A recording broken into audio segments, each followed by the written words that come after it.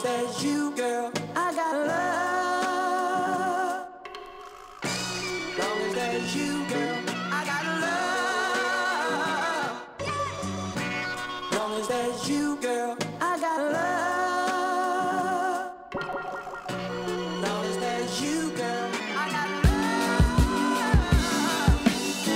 What's going on everybody? My name is Tomas and in this one I'm going to show you how to upgrade the RAM on the late 2013 Mac Pro. And before we get into it I want to preface this video by saying Kingston was kind enough to provide me the RAM modules seen and upgraded in this video. Without them this would not have been possible. So a big thank you to them. So what tools do you need to accomplish this task? All you need is your hands. However, I would recommend if you have a spudger laying around that you utilize it during this process because it allows you to open the RAM trays a lot easier. So we're gonna take this system from four 4 gigabyte modules to two 16 gigabyte modules, thus rendering this system with a max capacity of 32 gigabytes of RAM. The RAM kit I'm working with here is consistent of two 16 gigabyte modules at 1866 DDR3 unbuffered ECC RAM.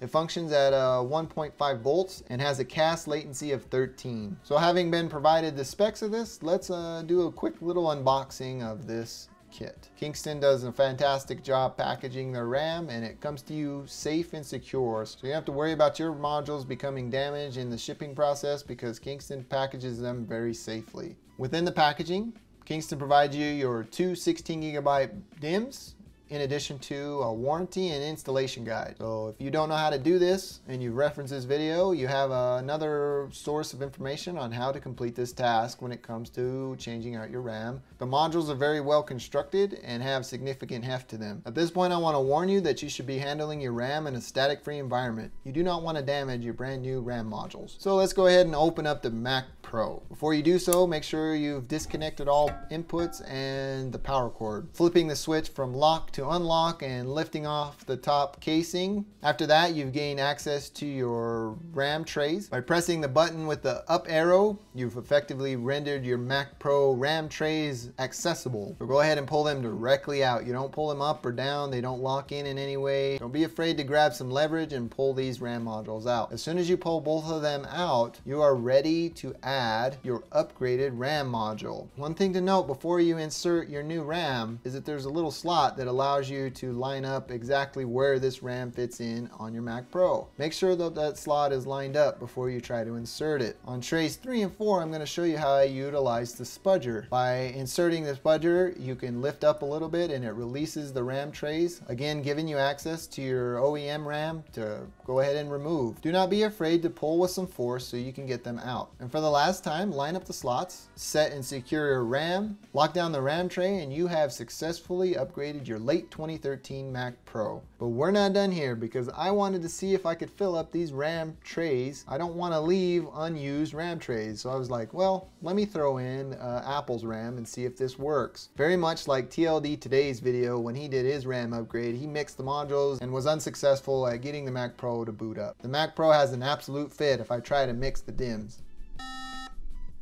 Again, so you're aware you're not able to mix DIMMs, so you're going to have to purchase the same ECC modules uh, across the board. So if you wanted to fill all these RAM slots, you would have to purchase two kits from Kingston. And again, pricing and availability will be linked in the description.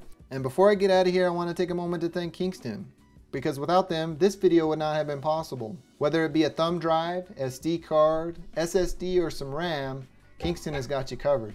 Please visit www.kingston.com for all your flash storage and memory needs. And while we're on the topic of visiting their website, Kingston provides a neat little tool that if you do not know your system specific memory. Here as well you'll select if it's a server or a desktop. In my case it's a desktop slash notebook. Scrolling down the page a little bit you'll be able to find the right manufacturer, the specific product line, and then the actual model. After you've done that, Kingston populates a list of compatible memory for your system. They also provide you a little bit of a blurb on your system specifications. And here, I would have known that I cannot mix DIMMs within the Mac Pro. So I didn't even have to test it because Kingston is telling me that it will not work. With all that said and done, why would you want to use Kingston memory?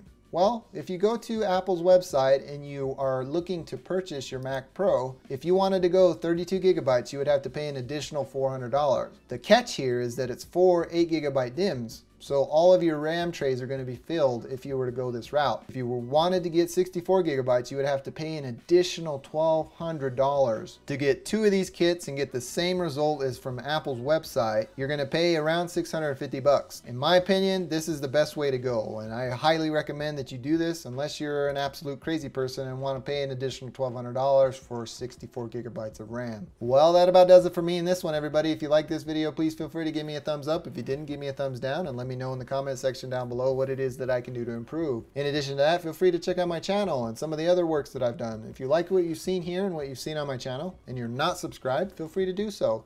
Thank you for taking the time to watch this video. Take care.